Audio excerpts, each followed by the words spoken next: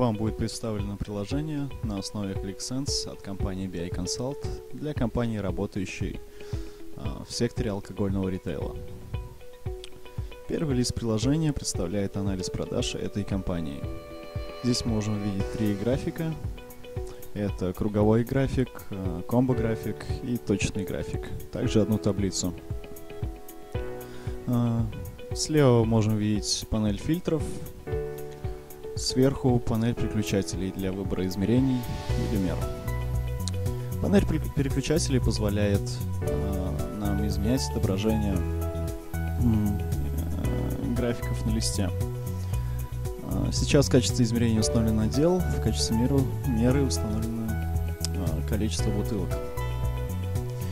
Можем для примера поставить э, в качестве измерения группу, в качестве меры выручку, и теперь круговой график показывает процентное соотношение среди групп э, по выручке. Точно же график показывает э, зависимость выручки от количества торговых точек для групп.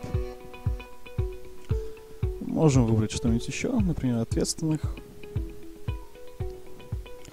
Э, на точном графике можно использовать инструмент лассо, например, для для анализа показателей лидеров по количеству торговых точек. Выбираем их. И весь лист фильтруется по выбранным ответственным. Второй лист показывает сравнение. Здесь можем увидеть таблицу, на которой как раз таки представлены эти сравнения, и два графика стоп-10. Так же, как и на прошлом листе, здесь присутствует э, панель фильтров и панель переключателей.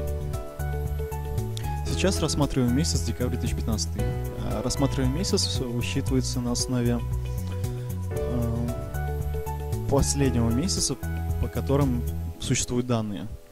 То есть на январе 2016 у нас уже данных не существует. Рассматриваем месяц можно изменить, выбрав а, какой-нибудь другой. Например, апрель. Теперь э, сравнение производится по апрелю. Э, это значит, что сумма за предыдущий месяц э, представлена за март.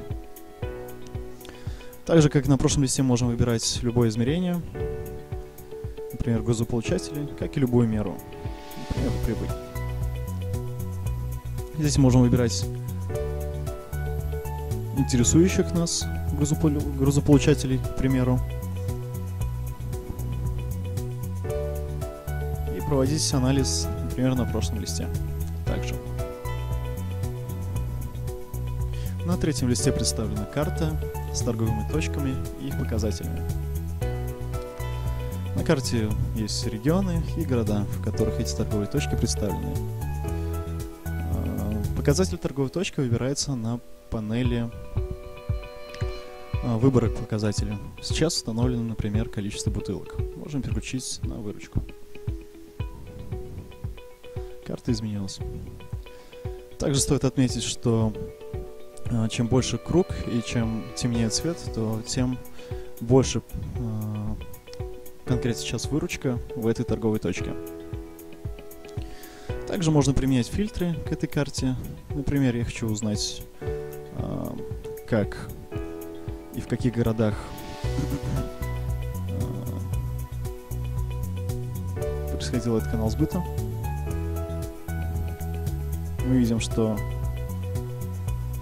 основная часть выручки э, на этом канале сбыта происходила в Москве.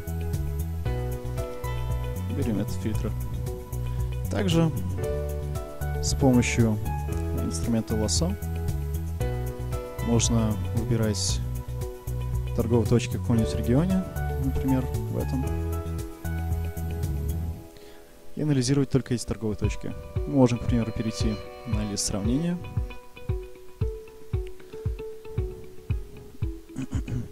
И смотреть, кто там, кто в этой точке лидер а, по выручке среди поставщиков, среди ответственных, какая маржинальность в этих точках и так далее.